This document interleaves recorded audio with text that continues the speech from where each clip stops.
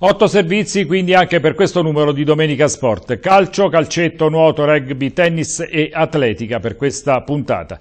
Per quanto riguarda il calcio abbiamo detto del vittoria dell'Avezzano 3-1 sul Francavilla nel derby giocato su un terreno pesantissimo, lo stadio di Marzi avrebbe bisogno del sintetico ma tant'è. Eh, si è giocato invece quasi regolarmente sul campo di Capistello dove il sintetico c'è per davvero, il Capistello che pareggia con la Torrese, il Paterno che perde sul campo del Penne, ma fra poco vedremo anche i servizi di queste due partite. Andiamo prima a vedere risultati e classifiche dei vari campionati, iniziamo dalla Serie D dove si è disputata la ventisettesima giornata. Vediamo il quadro completo, Recanatese Castelfidardo 5-1, rinviata l'Aquila a Campobasso, Matelica Fabriano 1-1, Avezzano Francavilla 3-1, Jesina Monticelli Napoli 1-1, a Pineto Pratola batte Pineto 3-2, questa è la sorpresa della giornata, ma il Pratola eh, ci prova, continua a vincere. A San Marino Agnonese batte San Marino 1-0 e poi 2-0-0, quello fra Vispesero e San Nicolò e fra Vastese e San Giustese.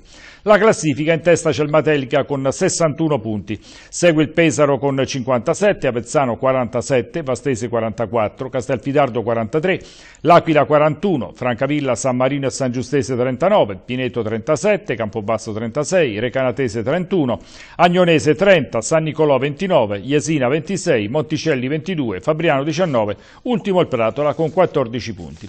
Passiamo al campionato di eccellenza, trentesima giornata, ne mancano ancora quattro al termine. Angolana Alba Adriatica 2-0, a Martinsicuro Cupello batte Martinsicuro 2-1, Chieti Montorio 1-0, Penne Paterno 2-1, a Scoppito River Chieti batte a Miternina 1-0, Miglianico San Buceto 0-0, a San Salvo Sfoltore batte San Salvo 1-0, Capistrello Torrese 1-1, Giulianova Montesilvano 3-0. La classifica, il Giulianova in testa con 69 punti, manca pochissimo per la matematica, Chieti 58, Martinsicuro 55, Paterno 51, Svoltore 49, Torrese 46, Capistrello e Angolana 45, Penne 42, Alba Adriatica 41, San Buceto 37, Cupello 34, Montesilvano 33, River Chieti 30, Amiternina 29, Montorio 28, Miglianico 22, ultimo il San Salvo con 20 punti. E chiudiamo con il campionato di promozione, anche qui trentesima giornata. Pucetta Fontanelle 1-1, San Gregorio Luco De Marzi 3-0, Celano Mosciano 0-0, Morrodoro Mutignano 1-1, Alba Montauri Notaresco 2-0, a Santomero Sant'Egidiese batte Santomero 2-1, Ponte Romano Piano Lente 3-2, Virtus Teramo Rosetana 1-1, Cologna Tosticia 2-0. Classifica due squadre al comando, Virtus Teramo e Ponte Romano con 64 punti, Luco De Marzi 54, San Gregorio 51, e ancora Fontanelle 50, Pucetta e Rosetana 47, Cologna 46, Mosciano 42, Piano Lenta e Celano 39, Sant'Egidiese 38, Morrodoro 34, Santomero e Mutignano 29, Tossicia 24, Alba Montauri 23, chiude il Notaresco con 14 punti. E adesso incominciamo con la serie di servizi, primo relativo al derby fra Avezzano e Francavilla, a vedere eh, nascosto fra i tifosi c'era anche l'allenatore dell'Aquila Pierfrancesco Battistini perché l'Avezzano domenica prossima giocherà proprio sul campo dell'Aquila. Quindi vedremo eh, adesso eh, servizio intervista di Avezzano Francavilla 3 a 1.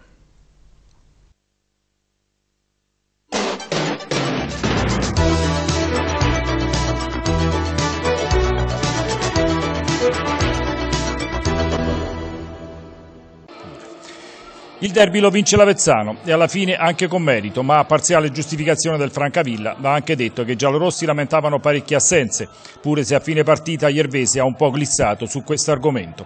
Peccato per il fondo malandato dello Stadio dei Marzi, che non ha permesso alle due squadre di poter elaborare una manovra degna di tale nome.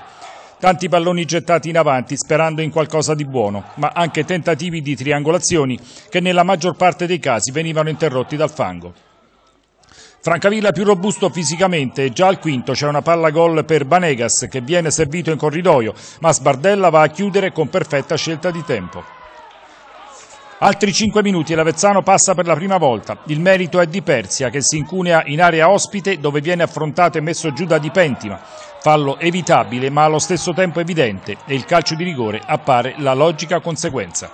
Inutili le rimostranze degli Adriatici e dagli 11 metri Cerone offre alla platea il brivido del pallonetto beffardo. Fargione è battuto e i marsicani incominciano a sognare. Alla mezz'ora Pollino potrebbe approfittare di un liscio del diretto avversario, ma il controllo non è all'altezza e tutto sfuma tra il disappunto dei tifosi biancoverdi. Si fa male Sbardella e al suo posto entra Tariuk. Al 34esimo Banegas approfitta di un varco centrale e va a concludere, ma Fanti ci mette una pezza in uscita e sventa la minaccia. Poi c'è un cross di Cerone dal fondo con la palla che sfiora la traversa sotto lo sguardo preoccupato di Fargione. Angolo per il Francaville sullo sviluppo Molenda prova la botta dal limite ma senza inquadrare la porta. E poco dopo il Francavilla pareggia.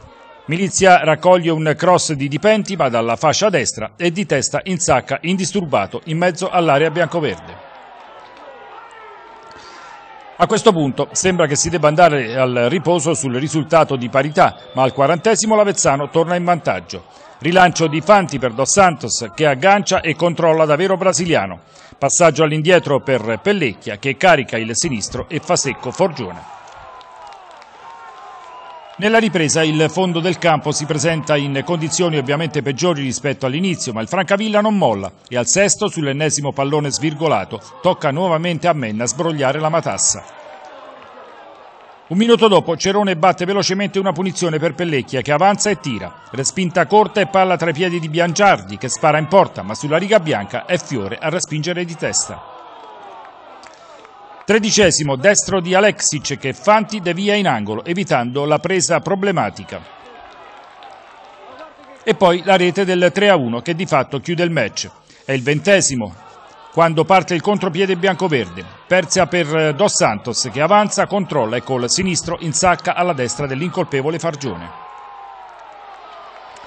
A questo punto il Francavilla capisce che ormai i giochi sono fatti, ma la squadra di Iervese non molla e al 25 va alla conclusione con Dipinto, sul cui tiro Fanti si limita a controllare con lo sguardo. Un tentativo di Alexic dai 30 metri viene bloccato a terra ancora da Fanti. Ci prova pure Bisegna dal limite, il sinistro è forte, ma Fargione lo intercetta a terra e poi a Pellecchia viene fischiato il fallo. E per concludere vi mostriamo questo diagonale di San Severino che si perde al lato sotto lo sguardo attento di Federico Fanti. Spettacolo di levatura tecnica non eccelsa, ma con questo terreno avrebbe avuto difficoltà forse anche il Barcellona. Giampaolo, tre punti volevate, tre punti sono arrivati, una partita purtroppo rovinata dal campo in pessime condizioni, ma eh, quello non è colpa di nessuno. Comunque un buon Avezzano, soprattutto nel secondo tempo.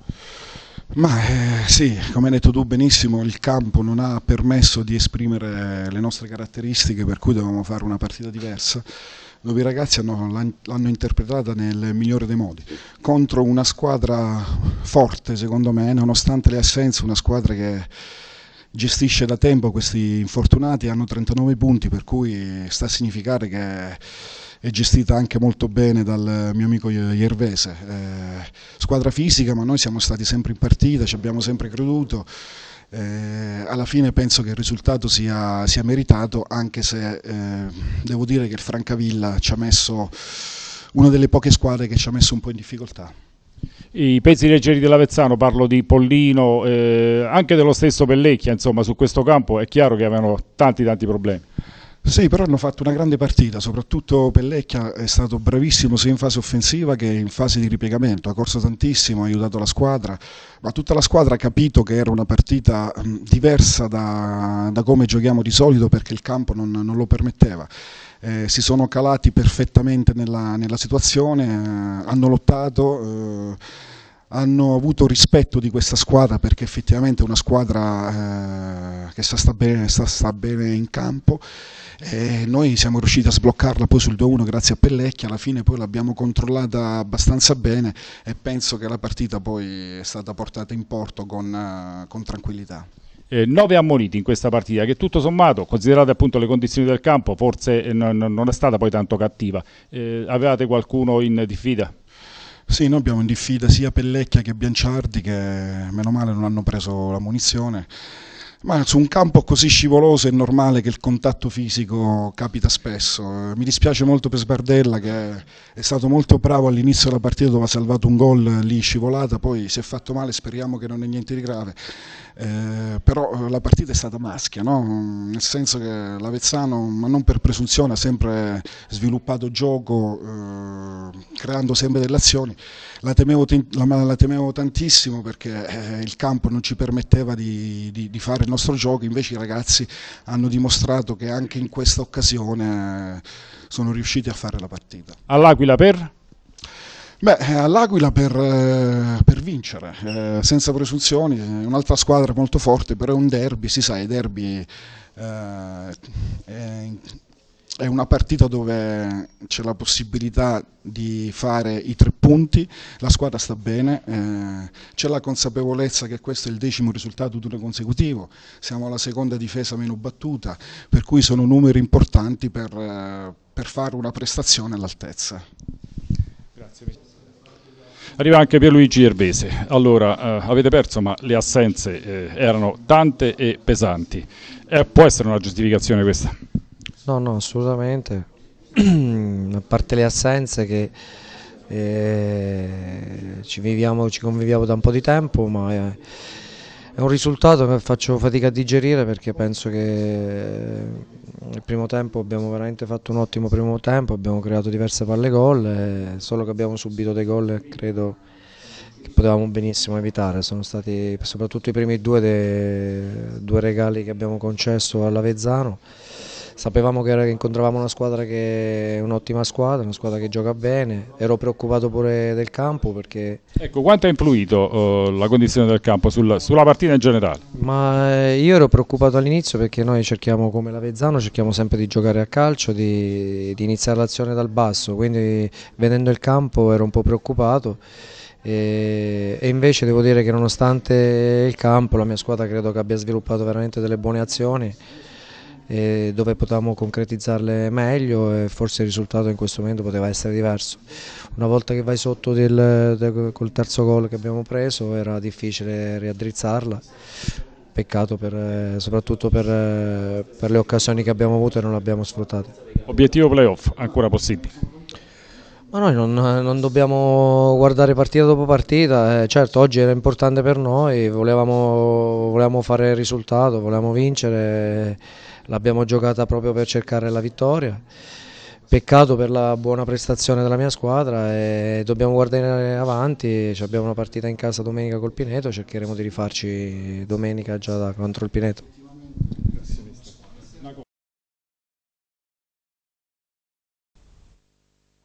Dalla Serie D al campionato di eccellenza con i due servizi relativi alle formazioni marsicane. Vedremo il pareggio del Capistello contro la Torrese per 1-1 e poi la sconfitta esterna del Paterno sul campo del Penne per 2-1.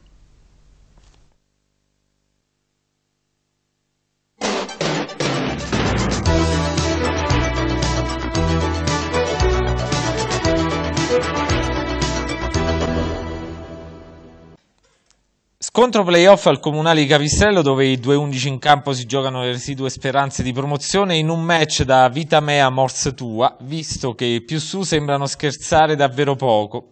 C'è quindi la necessità per entrambi di portare a casa i tre punti, ma purtroppo la matematica è una brutta bestia e il destino sa fare di peggio e così alla fine il bicchiere sarà mezzo vuoto, un paradosso vista la pioggia copiosa che accompagna tutto l'incontro giocato comunque con una certa abilità e classe sia dal Capistrello che dalla Torrese. Di spunti ce ne sono molti e noi cominciamo a metterli in fila con tanto di risvolti filmati, partendo dal quattordicesimo quando Puglia parte in velocità, si accentra e poi calcia addosso a Carnevali. Scampato pericolo per i locali che faticano un po' a carburare e così prestano il fianco ad un nuovo tentativo ospite e cade giusto a metà tempo quando ancora Puglia si propone questa volta dalla distanza ma il cuoio decolla sopra la trasversale anche se di poco. Capistrello che inizia finalmente a guadagnare metri tanto da chiudere il primo tempo stabilmente sulla tre quarti ospite. Al 41esimo per esempio un preciso taglio libera Leccese solo davanti a Castrone che si supera salvando il risultato per i suoi. appena un minuto e l'altro grande vecchio Granata, e cioè Bolzan, artefice una grossa prestazione, cannoneggia dai 20 metri e va a centimetri dal 7 Capistrello in vena in chiusura e pure in apertura di secondo tempo e così nel giro di pochi minuti fioccano le occasioni per i palentini che bussano prima al quinto con Paris che si accentra alla sinistra calcia e vede il pugno dell'estremo ospite sbarrargli la strada, quindi 40 secondi più tardi recriminano e non poco visto che al momento nessuno è ancora in grado di capire perché questa rete di Leccese su cross del solito Bolzan sia stata annullata. Rimpianti e sfortuna vanno a braccetto e dopo un minuto appena ancora Leccese si ritrova a tu per tu con un superlativo castrone, abituale portiere di scorta ma oggi più che altro bastone per le ambizioni torresi. Al quarto d'ora intanto sempre Bolzan tocca per Edoardo De Meis la botta alta di poco, la rete marsicana sembra nell'aria, invece a passare sono gli ospiti che al diciassettesimo approfittano del notorio opportunismo di Torbidone che di testa indovina l'angoletto basso alla sinistra di Carnevali, incolpevole nell'occasione. Capistrello che accusa ma riparte immediatamente così già al ventesimo Paris scalda di nuovo i guantoni ad un acrobatico numero uno giallo-rosso pochi secondi e si apre una doccia anticipata e gelata per il neo entrato a Dari, punito con troppa severità da una direttrice di gara non irreprensibile, credetemi. Compensazione o semplice errore arbitrale? La sostanza non cambia perché dopo l'inferiorità numerica la Torrese rincula e perde metri tanto da prendere il gol quasi subito. Pari locale che arriva infatti già al ventitreesimo quando un gran tiro a giro di Venditti non lascia scampo a Castrone riequilibrando le sorti di un bel match che ha ancora molto da dire soprattutto in chiave granata.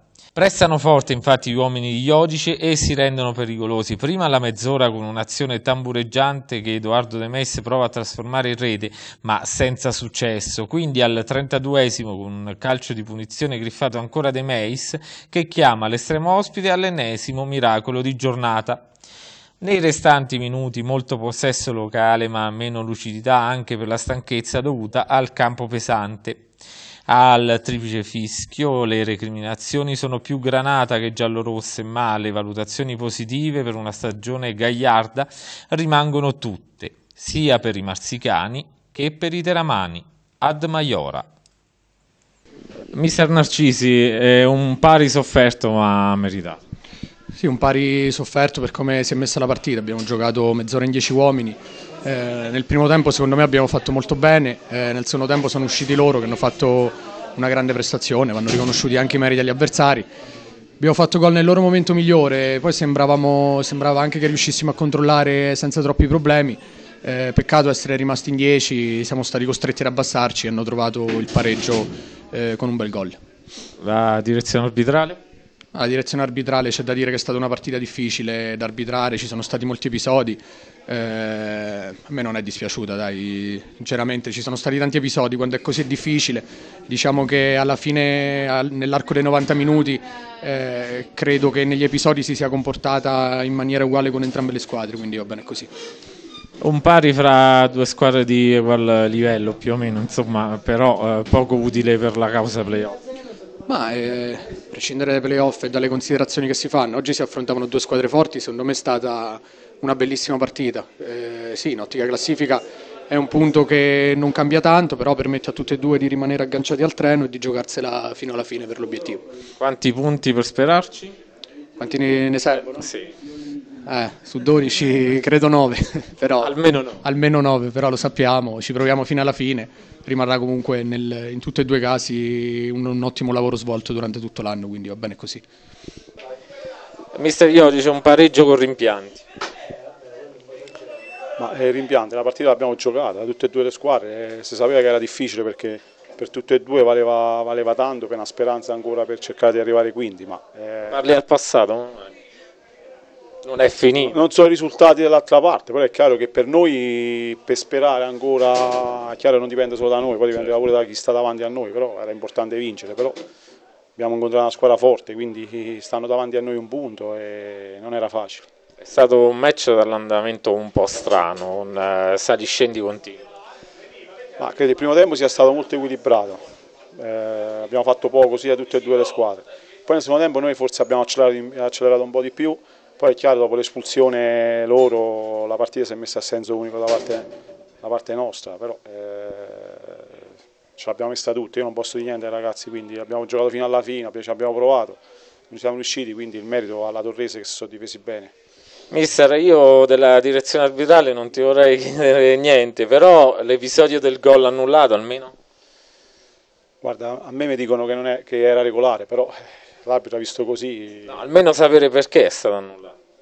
Non lo so, fa fallo di Leccese, però poi lo vediamo stasera se era fallo, ma al di là di quello io non lo so perché ogni, ogni partita delicata arriva un arbitro da fuori con tanti arbitri in Abruzzo che ci stanno, quindi eh, però è meglio, meglio, che lasciamo stare perché sennò poi vado sul pesante. Allora proiettiamoci sull'immediato futuro, adesso ci sarà una sosta, poi ci sarà lo sprint eh, finale ad aprile, 12 punti per sperarci. Ma noi, noi, ce la giochiamo tutte e quattro le partite, poi alla fine, a fine campionato vediamo quello che, che, esce fuori. È chiaro che sappiamo che è difficile, io non so i risultati che stanno dall'altra parte, però... I parziali erano favorevoli, però poi le cose cambiano. Eh, noi mancano quattro partite e abbiamo il dovere di farlo fino alla fine, di rispettare il campionato fino alla fine. Eh, sappiamo che è difficile, sia per noi sia per la Torrese, è difficile però ci dobbiamo provare tutte e due perché poi eh, non si sa mai, poi se non ci provi alla fine c'hai sempre i rimpianti, però noi stiamo bene, forse la sosta neanche ci voleva, però prendiamo la sosta, due settimane, ci riposiamo e poi ricominciamo le ultime quattro partite. Comunque la condizione fisica è buona di chi, di chi è abile arruolato e quella mentale ancora di più. No, ma noi stiamo bene, stiamo sia bene sia mentalmente sia fisicamente, quindi lavoriamo bene tutta la settimana ci giochiamo le partite con tutti fino alla fine. E come ho detto prima, poi vediamo alla fine la classifica quello che dice.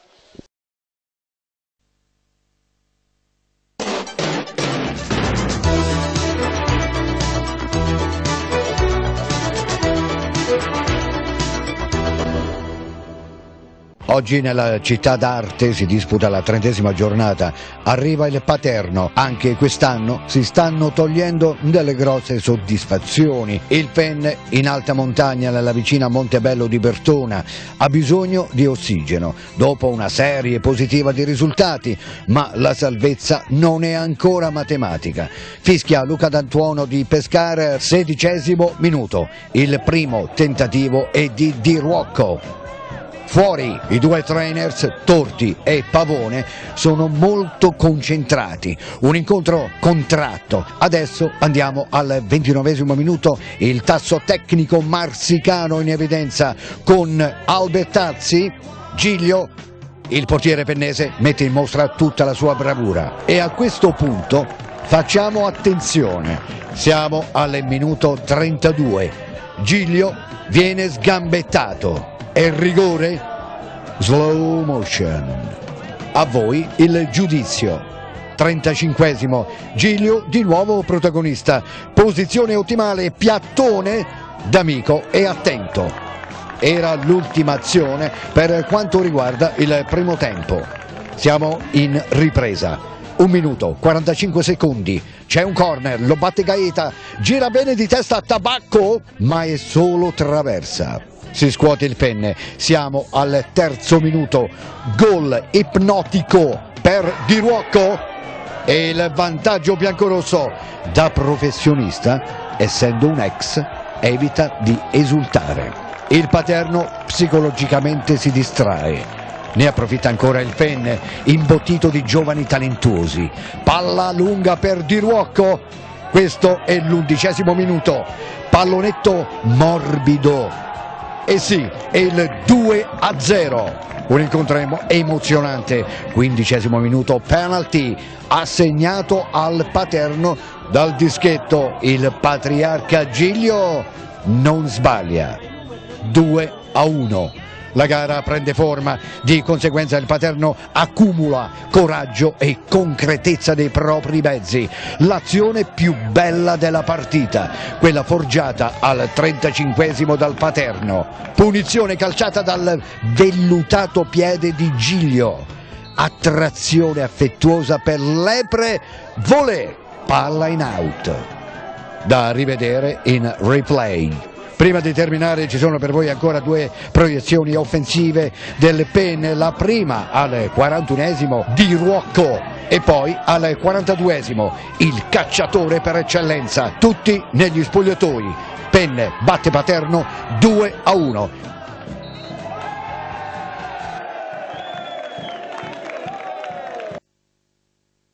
Cambiamo sport, parliamo di calcetto, il campionato di C1 è eh, arrivato alla penultima giornata, ancora una partita e poi sarà concluso. Vi mostriamo l'assurda, eh, voglio definirla così, sconfitta della Fenice, l'ultima in casa contro il Castelvecchio Subequo per 7 a 9. Eh, i, I marsicani vincevano 6 a 1 all'inizio del secondo tempo, poi sono stati capaci di perdere anche questa partita. Vediamo servizio e interviste.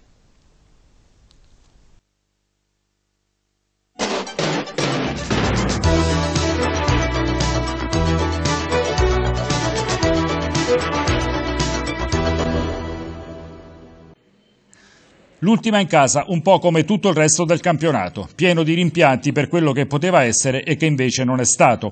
Per essere coerente con se stessa, la Fenice anche stavolta ha dilapidato un patrimonio che sembrava inattaccabile.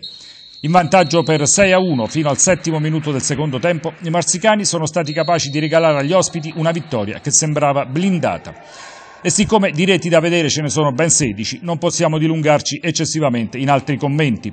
Sulla panchina dei locali troviamo Roberto Sciarretta che inizialmente propone Bonari, Dosa, Fellini, Antono Sante e Di Nicola. In maglia rossoblù ci sono Curatella, Ferrara, Porcù, Ginnetti e Maura.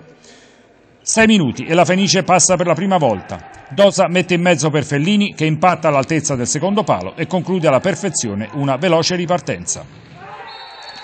A seguire due tentativi di Di Nicola e Fellini senza fortuna, ma al quattordicesimo arriva il raddoppio. Bella combinazione tra Crescimbello e Rossetti con il numero 8 che di destro insacca imparabilmente sotto l'incrocio dei pali. Una rete facile facile mancata da Ediure e poi ci si mette anche l'arbitro che al ventiduesimo non concede il vantaggio a Di Nicola che vince un contrasto a metà campo con il portiere avversario e va a segnare. Ma proprio al momento del tiro arriva il fischio che annulla incredibilmente la rete a Di Nicola. Al Castelvecchio però la fermata costa cara perché viene espulso l'estremo Curatella e in panchina non c'è nessuno che possa fare il vice, così che Nobilio, oltre a fare l'allenatore e l'attaccante, deve calarsi anche nelle vesti di portiere. Si ricomincia e al ventiseiesimo, dopo il solito lungo palleggio, Antono Sante trova il varco giusto e insacca in rete per il parziale di 3 a 0. Ospiti eh, che sembrano allo sbando e tre minuti dopo Fellini approfitta del fatto che Nobilio giochi ormai stabilmente a metà campo e infila a porta vuota la palla del 4 a 0. Prima della fine del tempo c'è ancora da vedere la rete di Porcù che di sinistro indovina l'angolo giusto e ridà una piccola speranza ai suoi. E in chiusura di frazione arriva il quinto gol dei Marsicani, confezionato da Crescimbello che intercetta e tira e da Di Nicola che sulla riga di porta spinge dentro in maniera definitiva. Siamo sul 5 a 1, ma non basta. Proprio così, perché ad inizio di ripresa Di Nicola è bravo a scendere fin sulla linea di fondo e rimettere al centro per la corrente Crescimbello, che di interno destro non sbaglia. 6 a 1 e tutto sembra deporre in favore dei marsicani, ma da questo momento in poi accadono tante di quelle cose strane che il povero cronista fa fatica a capirci.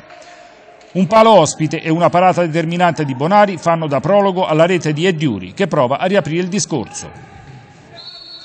Altro gol mancato dalla Fenice in 3 contro 1 e al nono il Castelvecchio segna ancora al termine di una combinazione tra Porcù, Ediuri e Maura. E siamo adesso sul 6 a 3.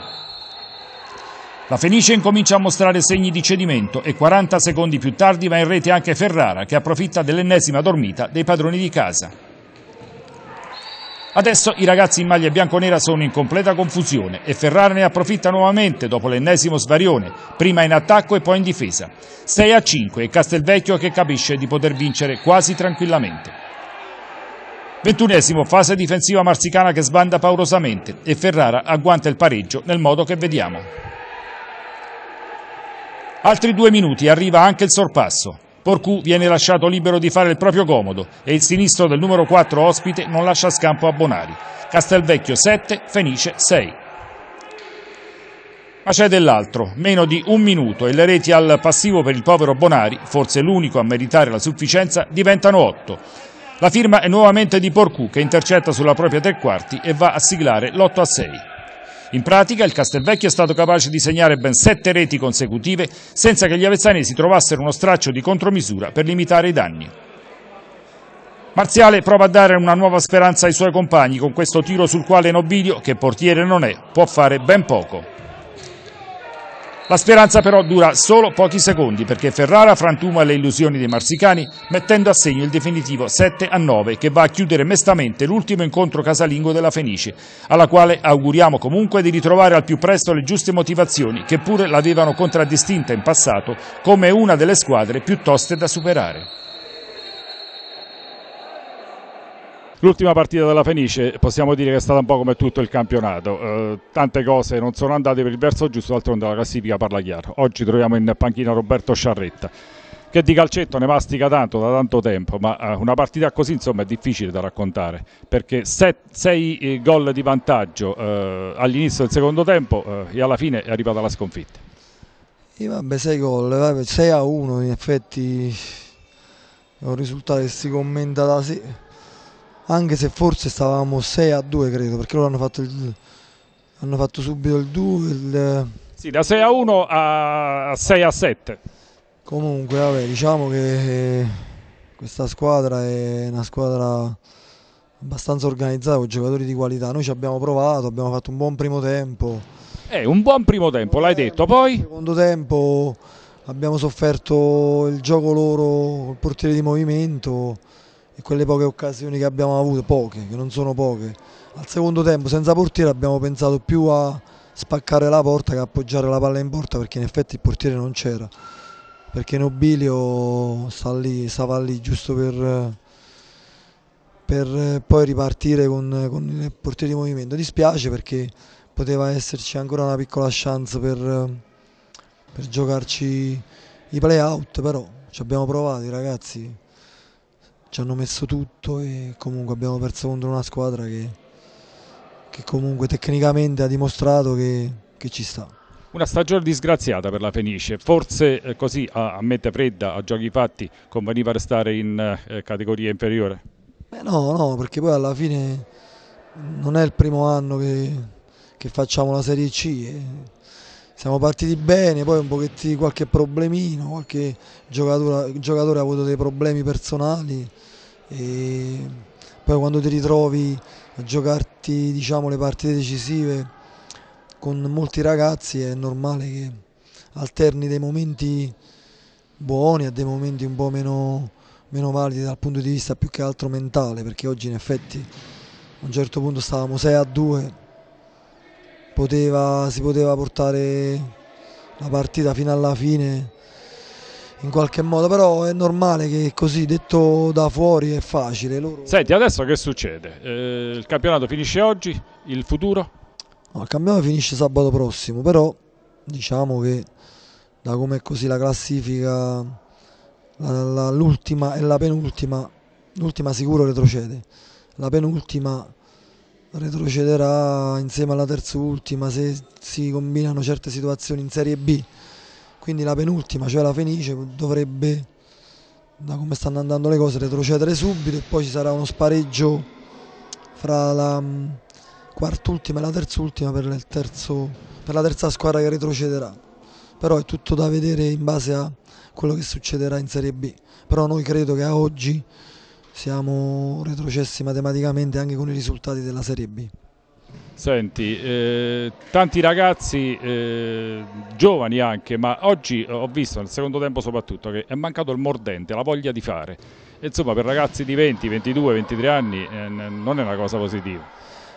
Non è che è mancato il mordente, paghiamo tutta una serie di, di problematiche, non ultima anche visto qualche giocatore scarico dal punto di vista proprio mentale, ma non perché non fossero allenati oppure però forse tutte queste sconfitte fanno male al morale, per cui quando ti ritrovi poi una squadra che comunque, come ripeto, ha giocatori importanti, ecco qua che poi saltano fuori tutti i limiti che sono dovuti a una stagione difficile, a problemi che vengono da lontano, però insomma noi siamo, non siamo tranquilli, però il futuro ci fa pensare in positivo perché comunque abbiamo un bel numero di ragazzetti dal, 96 fino al 2001 che sono validi, per cui bisognerebbe fare un po' quadrato, trovare le energie per, per riprogrammare un futuro che secondo me potrebbe essere importante, però adesso non è il momento di pensare a questo, finiamo questo campionato dignitosamente come abbiamo fatto oggi, purtroppo la rimonta loro fa male a livello psicologico, però diciamo che tecnicamente se la sono guadagnata.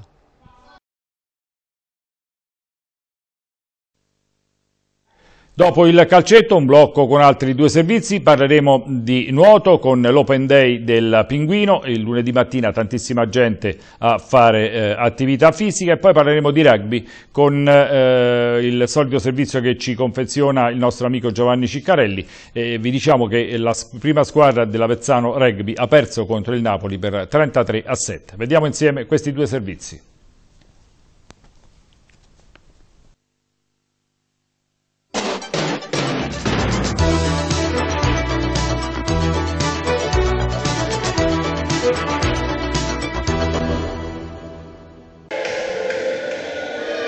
Avevamo preannunciato la scorsa settimana, l'Open Day alla Pinguino è partito, una giornata dedicata a tante belle cose. Siamo con Marta De Matteis che ci illustra il programma di questa giornata pienissima. Allora che sta succedendo qui? Allora, eh, l'Open Day è un appuntamento fisso per, per, la Pinguino, noi durante la stagione natatoria ne organizziamo perché ovviamente è un modo per conoscere il mondo dell'acqua fitness che è una delle tante discipline che noi organizziamo come Pinguino Nuoto. E, mm, oggi in particolare abbiamo scelto di dedicare tutta la giornata all'acqua fitness, quindi ci saranno diverse lezioni questa mattina, eh, a ora di pranzo e questa sera e abbiamo una media di partecipanti di 30 persone quasi per ogni lezione, quindi eh, preventiviamo appunto un'affluenza molto, molto vasta e di questo ne siamo felicissimi. Senti, quanti istruttori ci sono perché vada avanti tutta la giornata?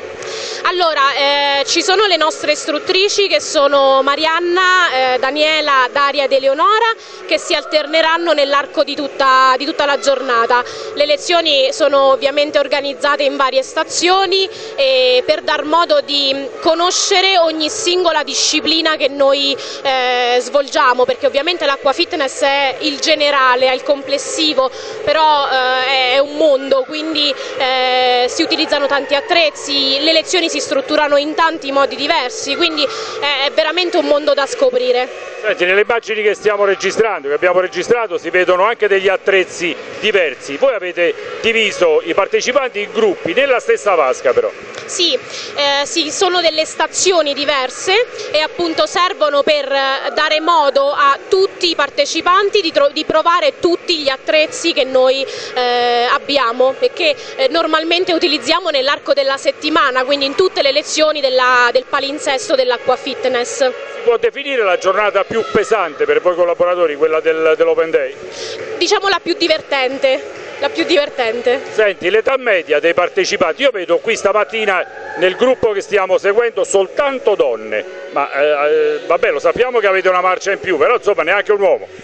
Allora, in realtà la maggior parte delle, delle nostre mm, eh, abbonate è, eh, è donna appunto, però c'è anche una porzione, una, appunto una buona sì, una percentuale di, di, frequenza maschile. Diciamo che voi uomini vi state piano piano avvicinando all'acqua fitness e di questo io ne sono felicissima perché è veramente eh, bellissima come attività. Di tutte, qual è la lezione più dura? Non ce n'è una più dura, non ce n'è una meno dura, ognuna è efficace e funzionale appunto per un determinato scopo, per un determinato obiettivo. Eh, poi ecco, si può variare, c'è una lezione che magari è specifica per eh, la parte bassa, le gambe, i glutei, l'addome, una lezione che è specifica per la parte superiore, per esempio la Fluiball che abbiamo introdotto quest'anno, quindi eh, a seconda degli attrezzi e di come è strutturata la lezione si fa un lavoro diverso. Marta, per mettere in piedi una giornata del genere ci vogliono tante persone, tante teste, tanti collaboratori. Chi è che va dare una mano? Allora, ovviamente eh, prima di tutto vanno ringraziati il direttore tecnico Nazareno Di Matteo e il presidente Daniela Sorge che ci danno l'opportunità di organizzare questi eventi durante la stagione, quindi in primis eh, loro. Eh, poi ecco io volevo ringraziare le nostre istruttrici perché per loro è una giornata come dicevamo divertente ma è senz'altro impegnativa quindi è grazie a loro che si può organizzare tutto questo. E poi ovviamente ci hanno dato una grande mano tante mm, realtà del territorio che ci supportano, eh, in primis il bar Ristoro Pinguino Fragile eh, che ci aiuterà poi nel, eh, nell'organizzare il piccolo punto ristoro per eh, le signore che hanno partecipato alle lezioni, ehm, la farmacia Stornelli, nostro eh, partner appunto nella, nella organizzazione di questo, di questo evento, eh, quindi è, è, un insieme. Io volevo inoltre ricordare che questa giornata è dedicata anche alla ricerca eh, contro la Duchenne, quindi eh, ci sarà appunto una postazione dedicata alla ricerca, quindi questo era importante ricordarlo. Con la vendita delle uova di Pasqua. Esatto, con la vendita delle uova di Pasqua. Quindi è una giornata ricca di, di eventi, ricca di collaborazioni, è una giornata bellissima dalle 8 di questa mattina, tre istruttrici che non mollano un minuto, giusto il tempo di bere un sorso d'acqua. Daniela Di Matteo, ma che state facendo oggi? Allora, innanzitutto ciao a tutti, eh, è vero, dalle 8 di questa mattina che siamo in movimento, senza mai fermarci, infatti proprio adesso abbiamo finito il secondo step di lezione e niente, abbiamo organizzato un, un open day per far conoscere a tutti quello che noi facciamo durante la settimana nelle, lezioni, nelle nostre lezioni di acqua fitness. Abbiamo iniziato con un lavoro a circuito utilizzando tutti i grandi attrezzi, quindi passando da un hydrobike a un hydrojump a un hydrostep, 10 minuti di lavoro e poi c'è il cambio, quindi loro hanno la possibilità di provare tutti i nostri grandi attrezzi. Per per fare un lavoro di tonificazione, in particolar modo sugli arti in, inferiori, per poi passare ad un lavoro sulle braccia, quindi altro step, secondo step che abbiamo appena terminato, di potenziamento arti superiori, utilizzando anche qui eh, diversi attrezzi eh, come la Fluiball, una particolare palla con del liquido dentro che viene utilizzata appositamente nelle lezioni di acqua Fluiball. Poi abbiamo utilizzato i manubri e per completare il tutto anche le cavigliere, quindi abbiamo fatto un lavoro completo su tutto il corpo. Per finire quindi con un lavoro in vasca piccola. Ecco, adesso vi siete spostati nella vasca piccola per fare che cosa? Perfetto, sì, ci siamo spostati proprio in questo momento per fare un ultimo step, quindi il nostro terzo step per continuare a lavorare con il corpo, in particolar modo sulla parete addominale e quindi finiamo con un ballo, un ballo particolare, la zumba che si fa eh, anche in acqua oltre che a terra e poi completiamo il tutto con un rilassamento muscolare e quindi con il Pilates.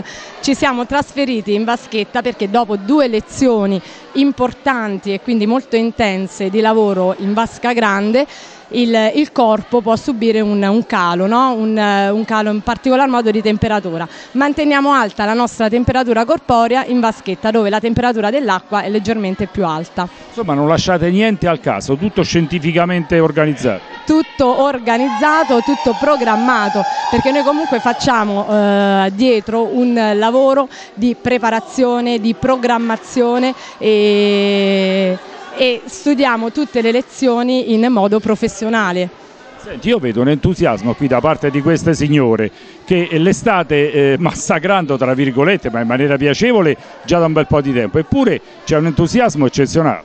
Sì, è, è, vero, già un'ora di lavoro abbiamo fatto fino adesso, perché dalle 8 adesso insomma, abbiamo fatto due step di 30 minuti, un'ora di lavoro c'è, però noi abbiamo il carisma, loro hanno un carisma, un, eh, un'energia particolare che trasmettono anche a noi istruttori e noi di conseguenza trasmettiamo eh, a loro. Non ci fermiamo mai, sempre in continuo movimento, sempre in continua eh, forza, carica ed energia, perché questo è il nostro lavoro. Senti, a fine serata sarete sarete più stanche voi istruttrici che comunque siete allenatissime o i vostri allievi? Eh, sicuramente noi. No, no, sicuramente noi perché diamo in modo a loro anche comunque di recuperare. Poi è vero, noi facciamo sì un lavoro alto, basso, impatto, poi dipende sempre dal livello eh, che andiamo ad, eh, ad, inserire durante le lezioni. Adesso diciamo sì è vero abbiamo organizzato le lezioni ad alto impatto, però ci regoliamo anche con i tempi, quindi permettendo a loro sia di recuperare che comunque di arrivare e di uscire in particolar modo dall'impianto non stanche. L'ultima cosa, quando ripeterete l'Open Day? Eh, a breve, a breve. Bentornati amici telespettatori di Antenna 2, eh, siamo qui con eh, tre uomini di mischia che giocano appunto all'Avezzano, eh, che sono Costantini, Laguzzi e Cesarini, che in questo periodo sono infortunati. E, mh, mm, quali sono stati secondo voi i sbagli di questa partita? Beh, sicuramente la supremazia in mischia non siamo riusciti a sfruttarla se non eh, nelle ultime battute della partita eh, siamo riusciti a guadagnare una meta tecnica per il resto del gioco l'avanzamento in mischia diciamo, eh, è venuto un po' meno per quanto riguarda quelli che potevano essere sviluppi della partita. Poi per il resto credo qualche placcaggio di troppo mancato e la differenza si è fatta lì insomma. E parliamo adesso invece con Laguzzi. E secondo te appunto le condizioni meteorologiche hanno potuto influire diciamo, sulla, sul morale dei nostri giocatori? Ma sicuramente il, il, campo in queste condizioni comunque buone per, per quanta mole di acqua è caduta non hanno aiutato l'Avezzano Rugby al, um, in questa partita, ma non, non è stato il, il meteo diciamo, l'unico fattore. Molto probabilmente non c'è, quel, non c'è stato l'atteggiamento giusto oggi in, in, campo da parte dei giocatori. Supremazia in, in mischia, ma in, in touche siamo stati praticamente nulli. E appunto anche per le, varie assenze non siamo riusciti a, ad adattarci nella maniera ottimale eh, anche con le, le rolling mall organizzate dalla, dalla Fragola all'inizio siamo stati in difficoltà abbiamo abbiamo fatto molti metri indietro e soltanto dopo ci siamo adattati siamo riusciti a non eh, ingaggiare appunto prendere posizioni a favore. È una partita brutta, brutta sicuramente per, per, i giocatori dal punto di vista psicologico, una sconfitta che comunque eh, ci poteva stare ma non in questa maniera, visto che comunque abbiamo giocato con una squadra che è terza in, in classifica e sta puntando a fare i playoff per andare in Serie A e sono sicuro che con eh, un altro atteggiamento avremmo potuto fare molto meglio. Parliamo adesso invece con Cesarini eh, diciamo, per quanto riguarda le fasi tecniche, come ad esempio le touche, le mischie, le giocate con i tre quarti, come appunto, hai, hai visto questa partita? Vabbè, sicuramente in touche l'assenza sia nostra ma anche di altri ragazzi si è fatta sentire. In mischia abbiamo retto per tutto il primo tempo, poi è cominciata a scendere la prestanza fisica e quindi ecco, si è cominciato a sporcare il gioco, a sporcare le mischie fino ad arrivare appunto a poter guadagnare una metà tecnica. Per quanto riguarda diciamo, le altre le, le fasi in gioco aperto, ehm, diciamo, loro avevano molta più prestanza fisica e riuscivano a prendere la linea del vantaggio con molta facilità, sia per nostra incapacità nel, nel placcaggio sia anche per loro abilità e appunto prestanza fisica.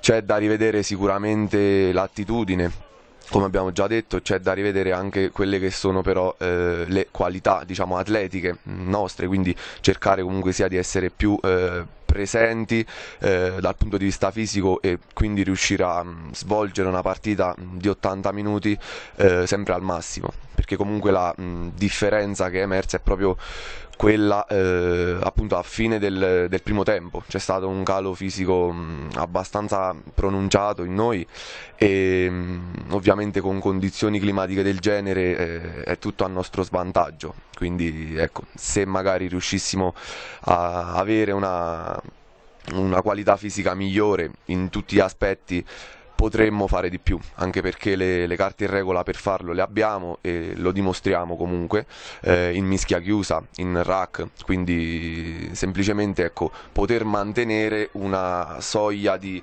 eh, prestanza per, per più tempo, per tutti gli 80 minuti. E bene, amici telespettatori, per questa domenica è tutto, alla prossima. Ancora due servizi per chiudere questo numero di Domenica Sport, parleremo eh, adesso di tennis con la presentazione del campionato di Serie C, eh, esordisce bene eh, la, eh, il CT La Pineta, vince contro l'Aquila per 5-1, poi parleremo anche di atletica con il primo palio Città di Avezzana.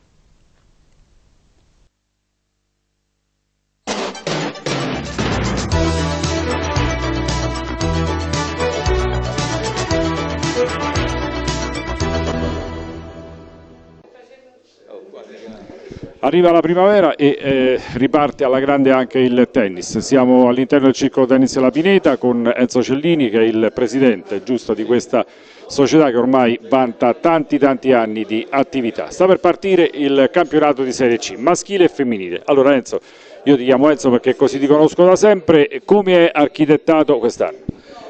Quest'anno come anche per gli altri anni inizia l'attività agonistica e si, parte, si è partiti a marzo con i primi campionati under, quindi under 12 sia maschili che femminili, 14, 16 e 18 e a seguire inizia appunto la Serie C e domenica abbiamo il debutto contro l'Aquila che è la prima fase diciamo così, poi diciamo la vincitrice potrebbe poi ambire a fare le finali regionali per andare poi in Serie B.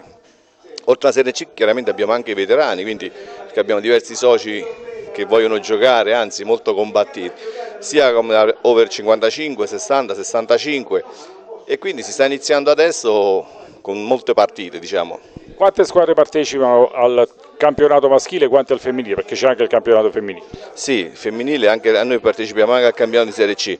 Nel campionato maschile, diciamo nella fase provinciale, dove siamo, beh no, è regionale, dove siamo noi, c'è l'Aquila, Pescara, eh, Match Point, Tortoreto e Teramo che insomma sono delle belle squadre, anche se noi eh, cerchiamo di fare il massimo, ma se ci salviamo è una grande cosa perché le squadre sono molto competitive. Per quanto riguarda la Serie C femminile, purtroppo quest'anno abbiamo avuto due defezioni, ma per un problemi personali non possono partecipare, anche se fanno parte del nostro, diciamo così, della nostra squadra. Quindi, diciamo, un... Chi sono? Sono eh, eh, Laura Seritti e la Mastroddi, da Iagozzo che diciamo, stanno ancora con noi ma non possono, ripeto, partecipare per problemi personali e quindi sarà dura per la Serie C femminile. E, e, poi appunto, ripeto, abbiamo anche tutte quante le altre scale, quindi diciamo, siamo in una fase diciamo, clou dell'inizio della Senti, ma ehm, una volta superata con successo la prima fase, questo è anche il nostro augurio, eh, si va ai nazionali? Certo, è tutta un'escalation, un diciamo così. Eh, la Serie C eh, si deve vincere prima la, la, prima fase e passare alla fase diciamo, eh, eh finale di tutti i gironi che si, sono, che si, stanno disputando in Abruzzo. La, la vincitrice può, passa in Serie B e così via ma anche dalla Serie D, perché tra poco inizierà anche la Serie D, noi abbiamo squadre D4, D3, D2 e D1, anche in questo caso c'è un'escalation tipo calcio, terza categoria, seconda categoria, quindi noi abbiamo la squadra D1 molto buona, potrebbe anche andare in Serie C e quindi avere anche due squadre in Serie C. Diciamo che è dura, però... È lunga soprattutto, ma è positivo perché insomma si gioca tutto l'anno. Voi avete però un torneo particolare, quello al quale partecipano i vecchietti che non vogliono mollare e che sotto Natale eh, pare che abbia il clou. Quest'anno com'è andata? Eh, avete litigato come sempre? Diciamo ci sono state diverse discussioni, però alla fine è finito, cioè si deve fare disputare la finale e non è che voglio far vantarmi, ma sono in finale anch'io come capitano con la squadra di Di Mattia e sabato prossimo avremo la finale, un torneo iniziato eh, ad ottobre che ha visto coinvolto tutti i soci, si giocava tutti i sabati, è una competizione come dicevi molto sentita e quindi diciamo combattuta sotto tutti i punti di vista. Nessuno vuole mollare ovviamente, ma il più polemico eh, in questo gruppo chi è? Ma eh, diciamo è difficile, non voglio fare i nomi, diciamo, ce ne sono diversi. Per esempio abbiamo il nostro direttore sportivo che fino a poco tempo fa si lamentava dice ma come tu sei andato in finale perché lui aspirava, ha perso in semifinale con noi. Quindi diciamo le polemiche sono all'ordine del giorno perché in effetti tutti vogliono vincere questo ambito torneo. Però l'importante è divertirsi. Dai. Noi ci divertiamo, oltre che divertirci diciamo, siamo impegnati, ecco, come dicevi tu, tutto l'inverno, tutta l'estate, adesso inizia questa attività diciamo, di squadre, ma poi come tu sai inizieranno tutti i tornei individuali col clou del torneo Open che faremo ad agosto, che è quello, il fiore all'occhiello diciamo, del nostro, della nostra struttura. Sì. Andrea Di Vito e Gianmarco Cerasari per parlare eh, di questo eh, campionato che va ad iniziare. Allora, tu sei capitano, con quali speranze, con quali obiettivi eh, partite? Beh, diciamo che ogni anno noi puntiamo sempre alla qualificazione del girone. Quest'anno non siamo stati fortunati con i sorteggi, il girone è un girone molto impegnativo da un punto di vista tecnico. Chi vi è capitato? Il Barcellona? Eh, non, è, non, è, il Barcellona, ma diciamo che sono delle squadre che sono retrocesse dalla categoria di Serie B e quindi per noi quest'anno sarà un bel test. Però ci proviamo, abbiamo i ragazzi che sono, si sono allenati bene quest'inverno e quindi abbiamo le carte in regola per riuscirci. Gianmarco Cerasari, età?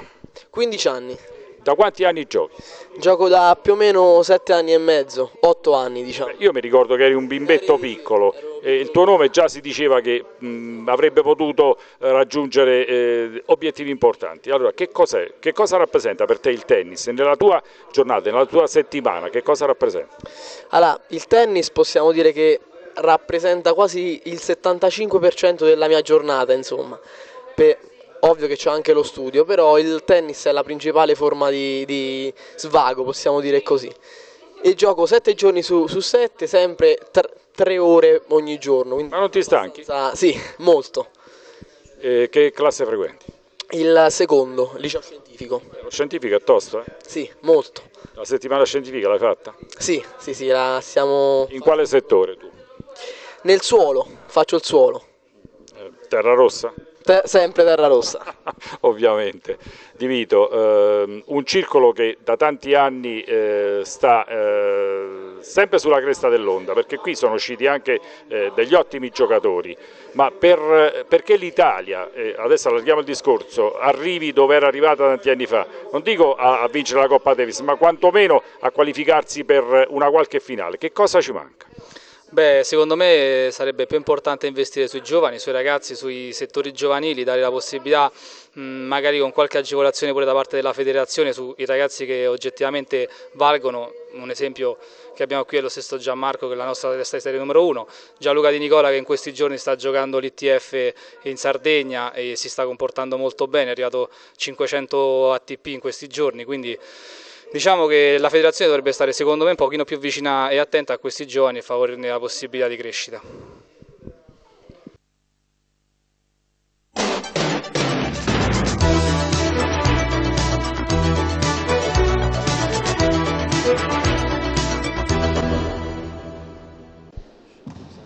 Fuori piove a dirotto ma dentro la palestra si può stare, anche se anche qui casca qualche gocciolina perché il tetto del palestrone di Via Pereto insomma non è che sia in buone condizioni.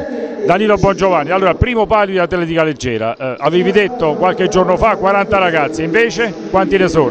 67, infatti neanche noi ci aspettavamo questo successo per un, una prima edizione che eh, non era proprio così ben organizzata perché avevamo in mente veramente di fare un'altra cosa, no? un palio con le contrade, con i colori eccetera.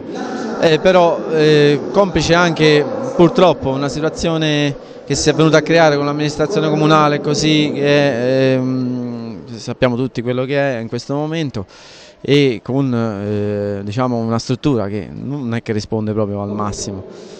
Non siamo riusciti a fare proprio quello che volevamo, ma siamo felicissimi perché eh, basta guardare quanti ragazzi abbiamo qui oggi. Senti, tutti questi ragazzi fanno tutte e tre le prove o, o ognuno fa una prova?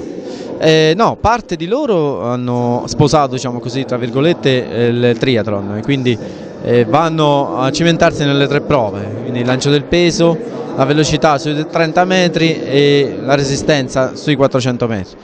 E tanti altri, diciamo la metà più o meno, hanno scelto una gara soltanto del, di queste.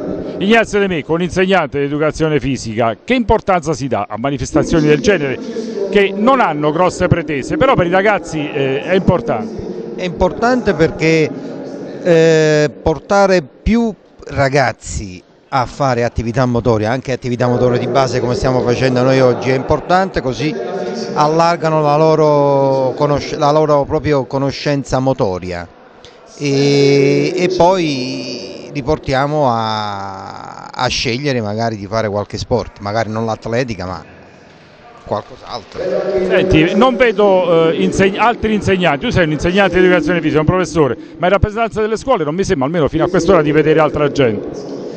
Il volontariato non è per tutti, Plinio.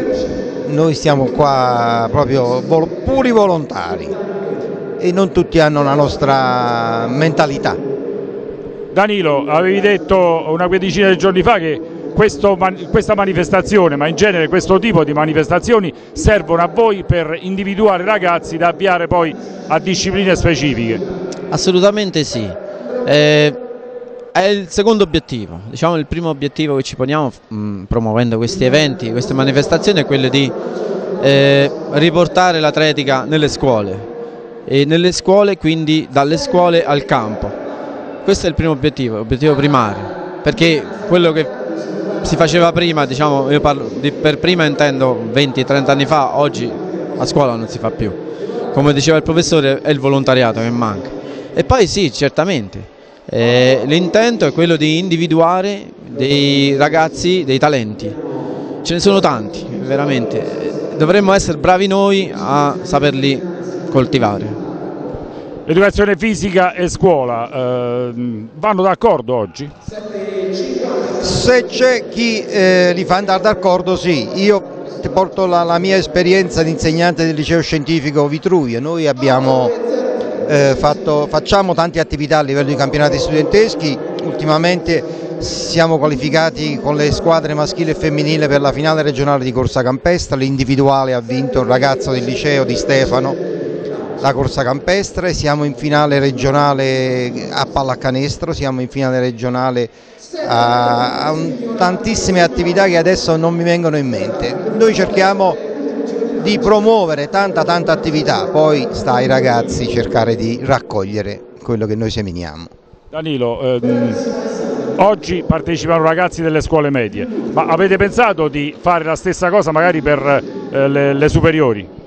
Eh, per le superiori è un po' più difficile perché noi sappiamo benissimo che i ragazzi in adolescenza si portano dietro delle problematiche diverse e delle distrazioni che vanno al di là di quello che può essere una disciplina atletica o anche sportiva in genere come il calcio eccetera. Se noi guardiamo bene eh, le scuole calcio sono piene di, di bambini dalle primarie alle scuole medie alle superiori si tende un po' a cambiare atteggiamento, diciamo così. Però per questo mm, non ci, non ci preoccupiamo perché eh, alle industriali e al liceo scientifico abbiamo nostri, il Presidente e il Presidente Concetta Balsorio che curano questo settore in maniera perfetta. E a Capistrello abbiamo Marino Di Marco. Sì, noi promuoviamo a 360 gradi, dalle primarie alle superiori, però le scuole medie secondo noi eh, sono il fulcro di questa disciplina. Viene da pensare per chiudere che eh, sarebbe stato forse meglio la palestra della media vivenza, considerate le dimensioni. Ci avevi pensato? Sì, ci abbiamo pensato, se non fosse che eh, la tribuna della scuola Vivenza non è agibile, per cui sarebbe stato un problema per noi tenere in campo, eh, lì ci sono le tribune, quelle estendibili, però eh, troppe persone in campo. Eh, noi dobbiamo simulare il più possibile quella che è la gara e la indoor, dove eh, nessuno al di fuori degli atleti possono stare in campo. Ci abbiamo pensato a quello, però abbiamo pensato anche soprattutto alla sicurezza dei ragazzi, perché ci sono ragazzi che per la prima volta fanno queste cose. Quindi tenere il pubblico, tenere gli atleti non partecipanti al momento distaccati, secondo noi è stata la scelta migliore. E siamo arrivati in fondo anche a questo ennesimo numero di Domenica Sport. Eh, domenica prossima, eh, per quanto riguarda il calcio di Serie D, l'Avezzano giocherà contro l'Aquila, ovviamente all'Aquila. L'andata finì 1 a 1. Saranno fermi invece gli altri due campionati che seguiamo per voi, cioè il campionato di eccellenza e il campionato di promozione. Riprenderanno il giorno 8 di aprile, quindi dopo Pasqua. Eh, quindi domenica prossima, per quanto riguarda il calcio, ci sarà soltanto il campionato di Serie D. E ovviamente domenica c'è anche il cambio dell'orario, torna eh, l'ora eh, legale, per cui basta spostare l'orologio un'ora avanti. Quindi domenica prossima l'Aquila Pezzano il campionato di Serie D, gli altri due ehm, campionati resteranno fermi. Si riprenderà l'8 di aprile con Paterno Migliano Maglianico e San Buceto Capistrello per il campionato di eccellenza, invece in promozione sempre l'8 di aprile Luco dei Marzi Santomero e Sant'Egidiese Pucetta. Con questo cari amici è tutto, come sempre grazie per la cortese attenzione, arrivederci, a domenica prossima.